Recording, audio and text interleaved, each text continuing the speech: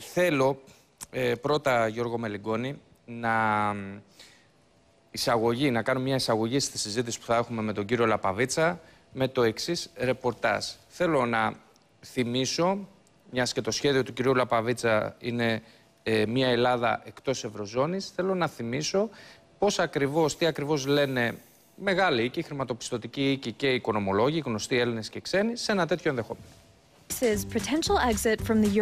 Τι θα συνέβαινε όμως στη χώρα αν επιστρέφαμε στην δραχμή; Η υποτίμηση της νέας δραχμής αμέσως μετά την κυκλοφορία της θα ξεπερνούσε το 60%. Γεγονός που σημαίνει ότι ένα ευρώ θα αντιστοιχούσε σε σχεδόν χίλιες δραχμές. Η Ελλάδα θα αδυνατούσε με την εξαιρετικά αδύναμη δραχμή να κάνει εισαγωγές ακόμη και των πιο αναγκαίων αγαθών, ενώ σε σούπερ μάρκετ και βενζινάδικα η προμήθεια τροφίμων και καυσίμων θα γινόταν με δελτίο. Μην ψάχνουμε να βρούμε ένα σύμβολο το οποίο θέλουμε να γκρεμίσουμε και ως διαμαγεία θα πούμε στην πύλη του φωτός.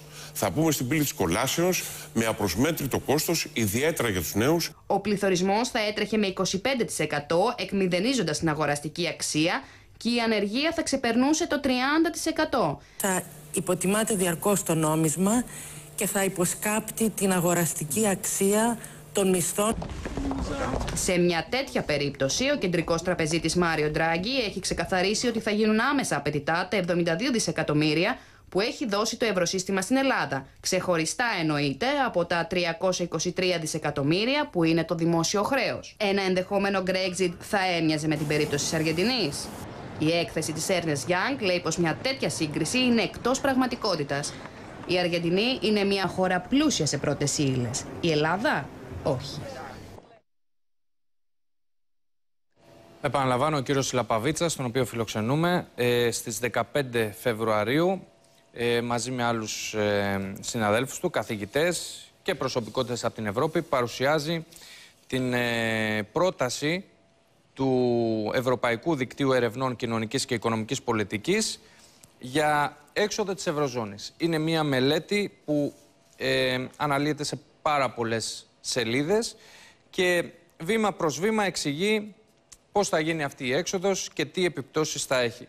Κύριε Λαπαβέτσα, καλή σας ημέρα. Καλημέρα κύριε Μάλη, ευχαριστώ πολύ για την πρόσκληση.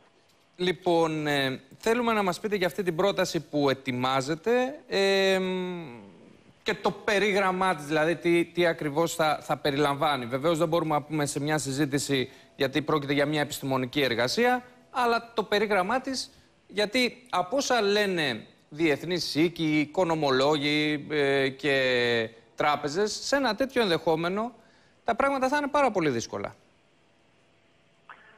Κοιτάξτε, δύο πράγματα θα σας πω γι' αυτό καταρχήν. Το πρώτο είναι ότι αυτά που παρουσιάσατε πριν, τα οποία είναι μια πιστή απεικόνηση αυτών που ακούγονται, είναι εμπολή στα βάσιμα.